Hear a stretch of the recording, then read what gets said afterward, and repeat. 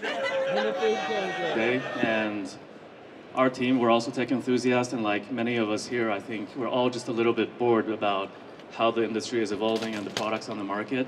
We just saw that Carl Pei from Nothing has announced that the Nothing Phone 2 is going to include a Snapdragon 8 series processor. Of course, he didn't say which 8 series processor, but we can expect the Nothing Phone 2 to be more powerful and more expensive than the Nothing Phone 1. So there are three Snapdragon 8 processors. There's the Snapdragon 8 Gen 1, the Snapdragon 8 Plus Gen 1, and the Snapdragon 8 Gen 2. The Gen, the Gen 1s obviously came out last year, and it is possible that we could see a, the Nothing Phone 2 have those processors to keep the costs down, rather than go with the 8 Gen 2, which would make the phone pretty expensive.